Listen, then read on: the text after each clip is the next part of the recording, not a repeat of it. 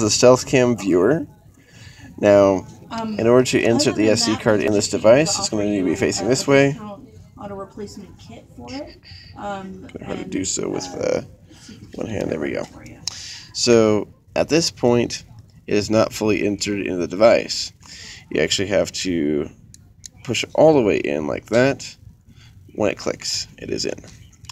Now, to turn this on, press down the power button for a couple seconds, let go, and boom, Stealth Cam. Now to change the settings on this, this is the brightness setting. You can go increase that or decrease it. something in the motor Now when you're done, just press enter. Or If you uh, want to change this, the amount of uh, audio that you have in your videos, just turn it up like this, down like that. When you're done, press right, menu. right. And uh, Yeah, it should. These are your different options that you have Um, if you for if uh, if you're in different countries, and, and Um, NTSC is for the U.S., PAL is it has to for find underneath the- uh, Europe. But for now, we don't really care too much with that. It, it should. Uh, this this is not going to be very important for your uh.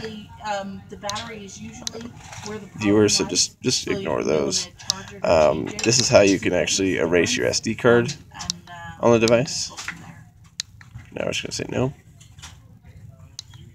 Go back, All press right. menu. All right. Well, thanks so much. Have a great day. And then to view your pictures, you're going to press here.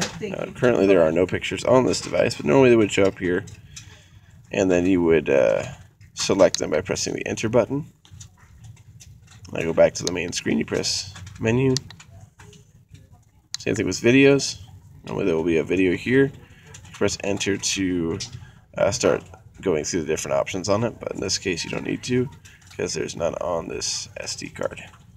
So that should give you a pretty good rundown of how to use this device.